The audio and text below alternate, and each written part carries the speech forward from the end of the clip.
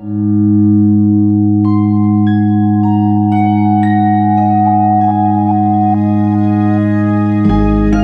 will your last 10 years look like?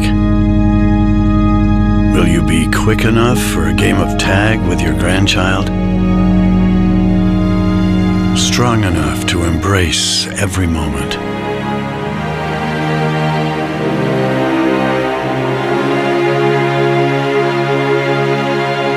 Will you grow old with vitality?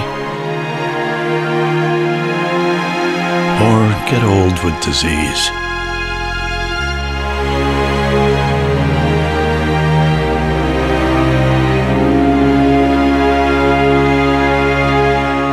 It's time to decide.